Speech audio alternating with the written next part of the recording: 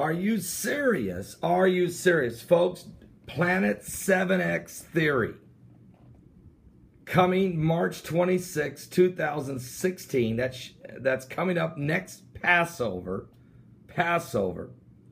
Gil Broussard, an amateur astronomer, is predicting that Planet 7X, this is the day that it comes into the closest that it will be to Earth. He believes this could create a major apocalyptic events. And because he bases it on current world events that have happened, excuse me, on historical events that happened, sightings of a strange signs in the skies and the effects of it historically throughout the Bible, matching with ancient records recorded by the Chinese and the Europeans of the same time period. And we're talking about Jonah and the whale situation there at Nineveh, talking about the fireballs that fell from heaven with, uh, with uh, Joshua. We're talking about the sundial being moved back. Now, folks, this, this, I had him on, there you see it, 68,000 views. Now, he was on last December the 7th. December the 7th, he came on, the astronomer Gil Broussard, and talked about this Planet 7X theory. In that discussion, while we had him on the air, he talked about what's going to happen. There you see it. That's when the intersect of the Earth and Planet 7X will be at its closest point, will be on Saturday, the Sabbath, Passover, March 26, 2016. But before we ever get there, folks, you need to know that uh, Planet 7X also has to first enter into our our solar system. All right? So here we go. Uh, quickly, here is the sun, Mercury, of course, the Earth is rotating as well. And as planet 7X starts to come into focus here, and I'm going to back this up just a little bit to give you a little bit better look here. All right. So you have the Earth. This is the this is the actual orbit of the Earth. This is the Earth's orbit right here, the green line, all right? As it orbits around the sun. This is the projected path of planet 7X and its orbit around the sun. It comes by approximately every 334 years, give or take. Sometimes it's 319 years, sometimes it's 360 some years, but give or take on an average, according to the calculation of uh, Gil Broussard, approximately in that ballpark. Now, what he's done is calculated based on current uh, uh, uh, biblical events that historically have happened and what the book of Revelation talks about, of course, as it relates to the sixth seal. And here's what he's projecting that today, August 10th, today, the fiery red dragon, the old serpent, if you will, but here's what he's saying planet 7X right there, or the dwarf star, or planet X, whatever you want to call it. Today, it intersects with the orbital plane of the Earth. Today. Today. Will we be able to see it? He says no, because the Earth is way over here on the other side. So the sun is blocking our ability to see planet 7X as it enters our solar uh, orbit. All right? But in the next 76 days, there will be a situation developing that the sun will, that the uh, planet 7X will begin to move around the sun.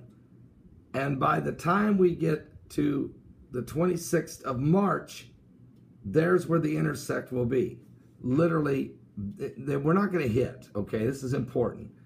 Planet 7X and the Earth will not collide, but we will be at our closest point right here, all right?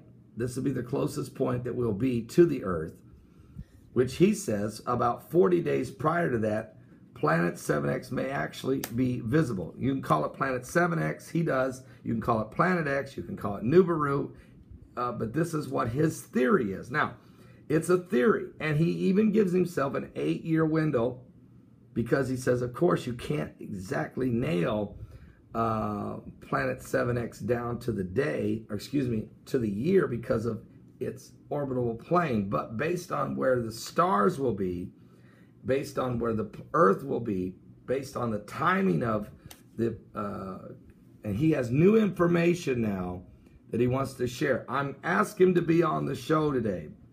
Uh, he's actually given a, a speech in Virginia and he's going to try to break away from that thing just to come on our broadcast because today's the day.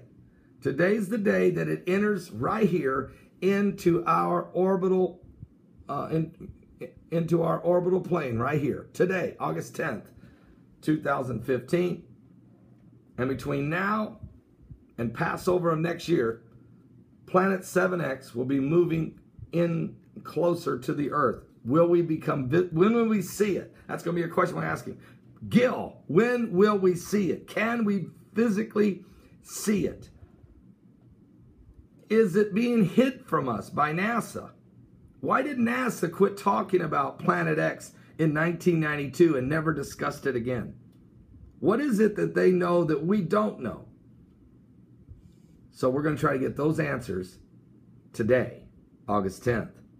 2015. Do not miss our live broadcast. Starts at 12 noon Eastern. And for the next three hours, we'll discuss this and many other events going on right now around the world.